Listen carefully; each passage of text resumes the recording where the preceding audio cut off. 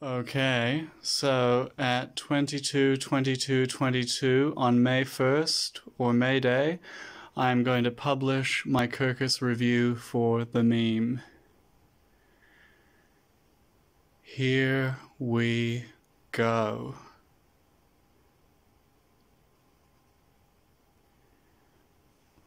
Alright, now assuming that worked. The meme has been published, the review of the meme has been published, and hopefully, this will mean that the story that it tells does not come to pass. Um, I did not die from cancer as I perhaps expected earlier when I submitted the meme on the 22nd of February 2022. And on the whole, I think that the review was decent. There are some mistakes.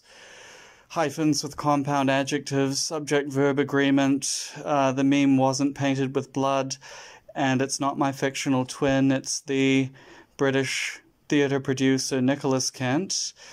But, you know, on the whole, for every part I didn't like, it could have been much worse.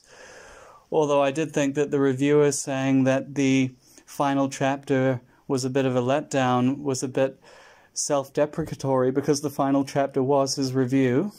But I suppose there's nothing wrong with being self critical unless you throw me under the bus. But let's hope for the best. And now the meme is officially out there.